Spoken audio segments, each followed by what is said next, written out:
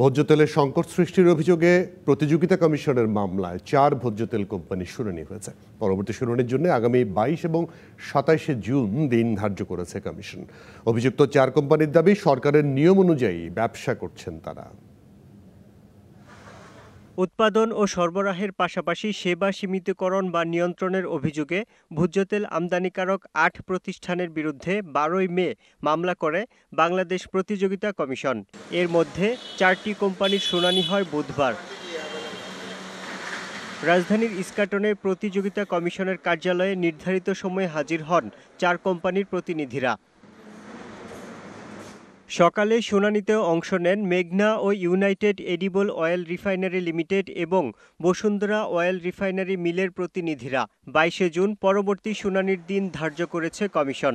আজকে একটা কপি আমাদেরকে অলরেডি দিয়েছেন এবং সময়ও দিয়েছেন। আগামী জুন মাসের বাইশ তারিখে আমাদেরকে যে অভিযোগটা আজকে লিখিত দিয়েছেন, এটার সুস্পষ্ট অ্যান্সার চেয়েছেন।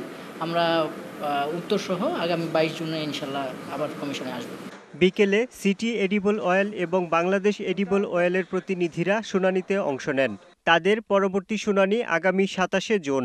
তো আমরা জানতে চেয়েছি যে কোন বিধি আমরা লঙ্ঘন করেছি। সে ব্যাপারে তারা আমাদেরকে জানিয়েছেন।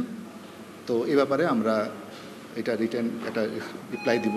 তারা যে তদন্ত প্রতিবেদনটা করল অনুসন্ধান প্রতিবেদনটা সেই প্রতিবেদনটা আমরা চেয়েছি যে এই প্রতিবেদনটা তো আমরা পাইনি। এই প্রতিবেদনটা পেলে এই প্রতিবেদন সরবরাহ করলে আমরা একটা জবাব দাখিল করব। বৃহস্পতিবার Shabnam vegetable oil industries, S Alam super edible oil, prime edible oil এবং গ্লোব এডিবল অয়েল লিমিটেড শুনানিতে অংশ নিবে।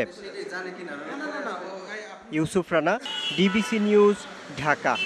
আমাদের সঙ্গে এই মুহূর্তে অতিথি হিসেবে অনলাইনে যুক্ত হচ্ছেন সিপিডির গবেষণা পরিচালক ডক্টর খন্দকার গোলাম মহসেম ডক্টর মোয়াজ্জম স্বাগত আপনাকে। যে কথাগুলো আজকে মানে যেই ওয়েল কোম্পানিগুলো বলল, চারটি কোম্পানি, যে তারা সরকারের সকল নিয়মকানুন মেনেই তারা ব্যবসা করছে। কিন্তু তাহলে প্রতিযোগিতা কমিশন কোন ভিত্তিতে মামলা করল? সেটিও তো একটি প্রশ্ন, তাই না? দেখুন প্রতিযোগিতা কমিশনের কার্যক্রম বাংলাদেশের জন্য নতুন এবং সাধারণ পর্যায়ে ব্যবসায়ীরা যেভাবে ব্যবসা করে থাকেন, সেই জায়গাগুলোতে যে প্রতিযোগিতার নিয়ম লঙ্ঘন হচ্ছে, এই সংক্রান্ত বিষয়গুলোর বোধগুলো অনেক সময় অনেক তাদের ভিতরে থাকে না।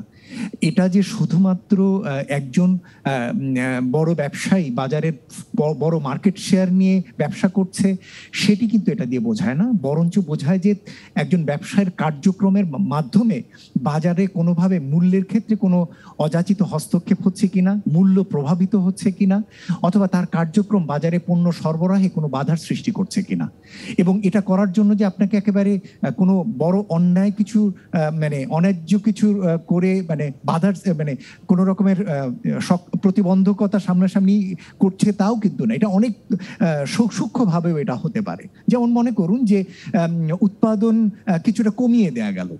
এত বড় কোম্পানি এবং মার্কেট শেয়ার তার ফোরটি টু সিক্সটি পার্সেন্ট রয়েছে তিনি যদি হঠাৎ করে উৎপাদন কমিয়েও দেন এবং অজুহাত হিসেবে বললেন যে হ্যাঁ অপারেশন মেনটেন্যান্সের কারণে তাকে কিছুদিন বন্ধ রাখতে হয়, তাহলে কিন্তু বাজারে সরবরাহ কিছুটা কমলেই কিন্তু মূল্যে এর প্রভাব বিস্তার হতে পারে।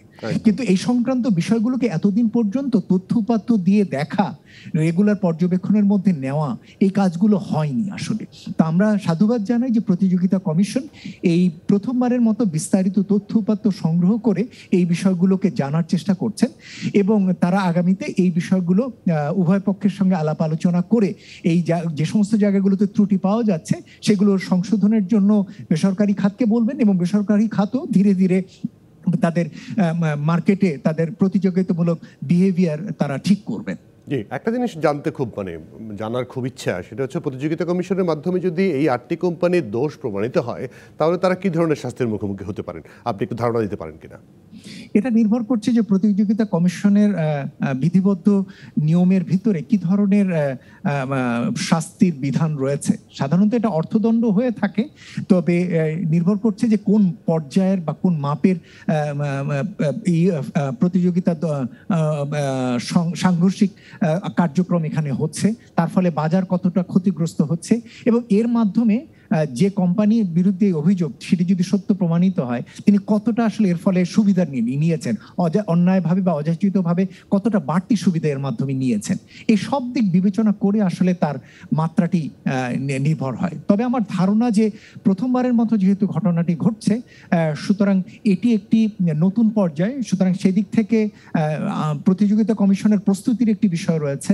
তারা কতটুকু কার্য টেকনিক্যাল কত ধরনের ইনফরমেশন তারা সংগ্রহ করতে পেরেছেন সেটি এখানে বিষয় থাকবে এবং যে ধরনের কর্তৃপক্ষ বেসরকারি খাত যে সমস্ত তথ্য উপাত্ত সরবরাহ করবে সেগুলো চেক করবার মতো তাদের পর্যাপ্ত ইনস্ট্রুমেন্ট আছে কিনা এবং তার ভিত্তিতে তাদের সংশ্লিষ্ট অপরাধগুলো যৌক্তিকভাবে প্রমাণিত হবে কিনা এই বিষয়গুলো কিন্তু নির্ভর করছে। তবে আমরা আশাবাদী যে হ্যাঁ প্রথমবারের মতো এই উদ্যোগটি নেয়ার কারণে আস্তে আস্তে করে এই সংক্রান্ত বিষয়গুলোতে বেসরকারি খাত সচেতন হবেন প্রতিযোগিতা কমিশনও আগামীতে আরও এই ধরনের উদ্যোগগুলো নিতে অনুবর্তী হবেন।